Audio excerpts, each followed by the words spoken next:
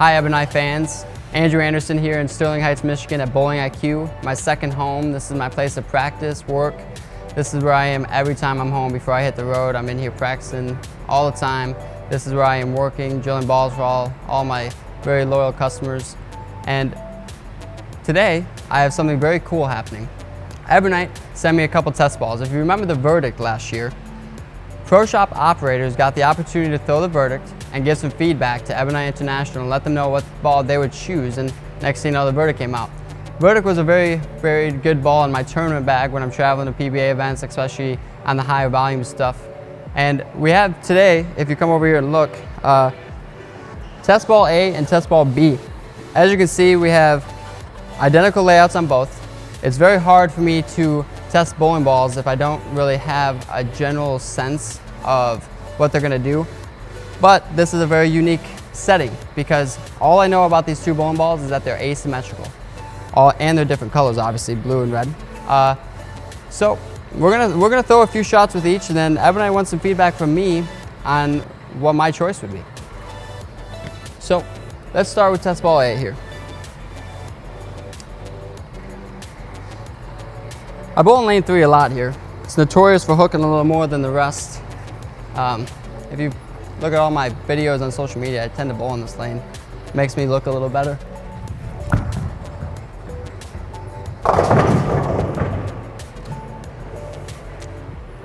I don't know if you can get much better of a start there, but uh, like I said, I have home field advantage here.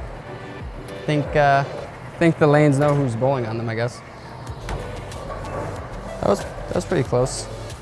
So, first time throwing them, not really knowing much about them, just trying to get a good sense of them.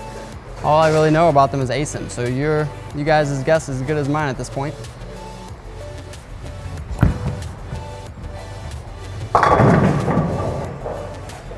Dug in pretty good. I throw a lot of asym balls on tour, on the fresh, um, especially on some of the higher volume patterns we bowl on. Um, Always good to get another couple options in the bag. Uh, verdict was one of them, still is one of them. Let's move a little left here off that six pin, see what happens. Oh, I got that right. Okay. Well, we got uh, we got some room for error there. It's always nice to see when you miss right and the ball picks up and still hits the one three. All right, got a few shots with that. Still the red one on top of that, see what happens. I'm a huge fan of this color. Not that I don't like the blue, but I'm a huge fan of this red. It's very cool looking. See what it looks like going down the lane.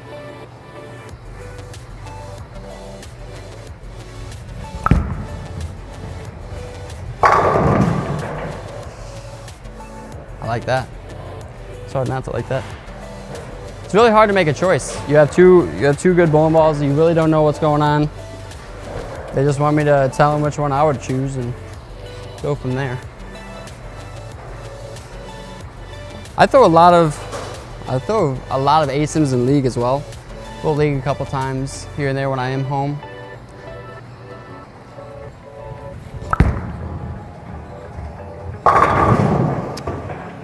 That's, that's pretty good. I'm a big fan of that so far.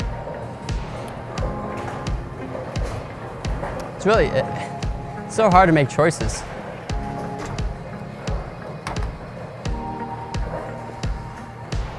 Those, those couple were pretty good. You can see this ball getting in my bag pretty quick.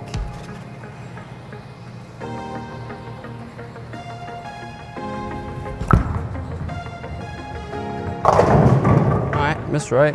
That was a very good shot. Gonna throw this, I'm gonna throw this a couple more times here.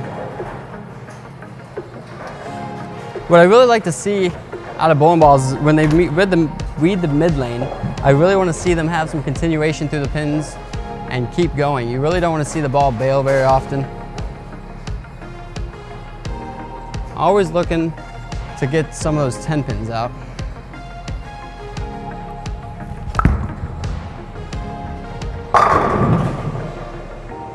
That's, that's pretty good.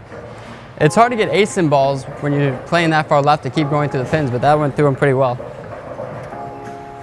Let's throw the blue one there. See what, see what that does.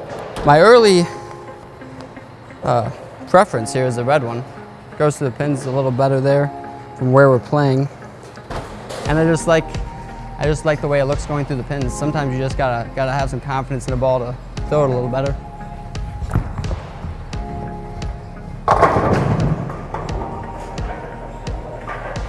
You know, if I didn't work here, I think that five pin would have stood.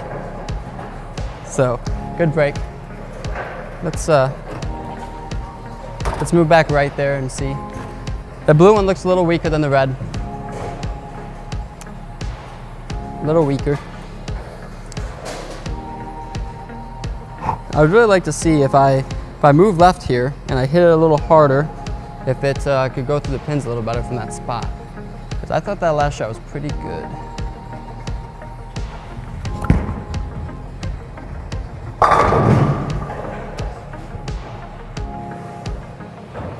Those are some, those are some good bowling balls there. Uh, I'm a big fan of how they're going through the pins. When I uh, when I'm changing balls, you got to have a lot of confidence in what it does before you do it. Um, changing balls on tour, you don't have enough time to really guess. So a lot of confidence in the ball makes a huge difference. And right now, I'm gonna be honest with you, I have a lot of confidence in this red one.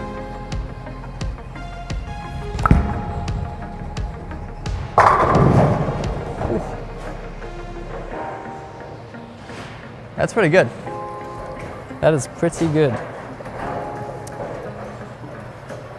How am I supposed to make a choice? Like how, how does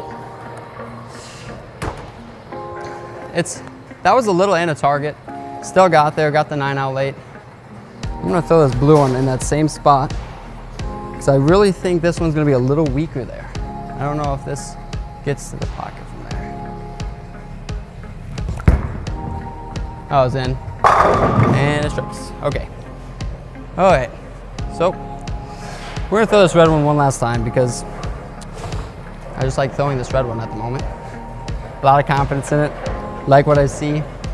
As you can see, there's no logos on it, nothing. I literally have no clue what these bowling balls are outside of test ball A or B and A in the color. But kind of matches my shirt today. Maybe that's why. So good one here. Let's move a little farther left off that nine pin. See if we can get it to come back.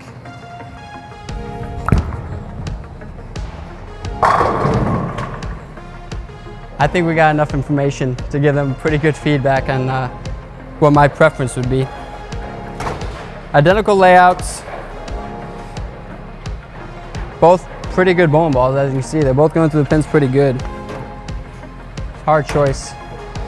You know, I would say if I had to choose one, I, I would have to go with test ball B, the red one. Goes through the pins a little better, a little cleaner through the fronts. It's a little earlier and smoother. I think it, I think they would both play a big part of my bag, but they're making me choose one. So if I have to choose one, my choice would definitely be test ball B. If you, if you have time, please feel free in the description below, leave some comments. Uh, we look at them, we, we take them into consideration. We'd really like to see what you see out of them and what you would choose because you guys play a huge part in how we do. Thanks for joining in today. I hope you learned something and can't wait to see you next time.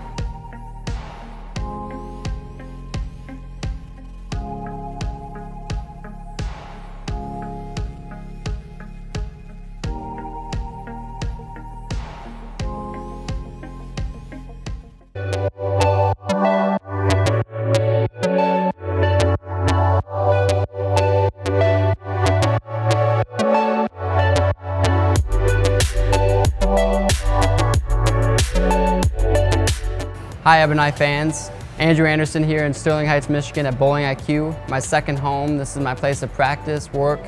This is where I am every time I'm home before I hit the road. I'm in here practicing all the time.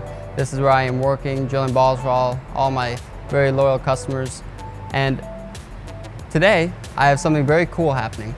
Ebonite sent me a couple test balls. If you remember the verdict last year, Pro Shop operators got the opportunity to throw the verdict and give some feedback to Ebonite International and let them know what ball they would choose and next thing you know the verdict came out. Verdict was a very, very good ball in my tournament bag when I'm traveling to PBA events, especially on the higher volume stuff. And we have today